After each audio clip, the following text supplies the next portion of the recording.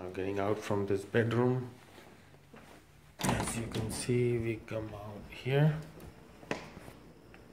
in the living room. So and then going up. And if I give you the whole video of the living room. So this is the view from here. Entry kitchen breakfast area in the back.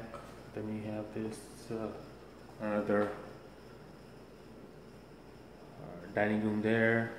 The bedroom this is the living room. This is definitely bigger uh, than the royal cypress house of obviously. Uh, now going back up